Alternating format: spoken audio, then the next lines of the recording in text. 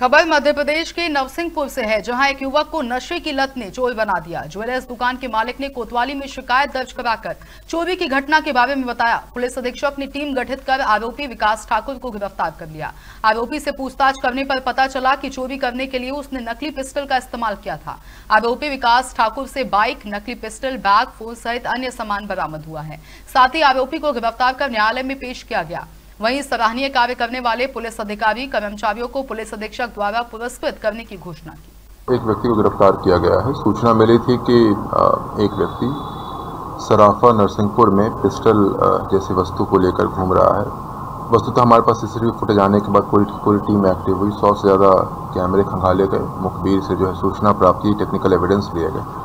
Finally उस आधार पर व्यक्ति को गिरफ़्तार किया गया। उसके पास से एक नकली पिस्टल जो कि लाइटर के तौर पर जो है उपयोग करता है, एक बाइक और बाकी जो भी सामान थे वो जब्त किए गए हैं। कर्ज में होने के कारण जो है उसका चोरी करना उद्देश्य था। अपितु जो है वो लूट भी कारित कर सकता था, कोई भी और ऑफेंसेज वो कर सकता था। फिर भी जो है उसकी गिरफ्तारी की गई है और पैसे के कर्ज के कारण नशे में लगातार लिप्त होने के कारण जो उसके द्वारा ऐसी घटना की गई।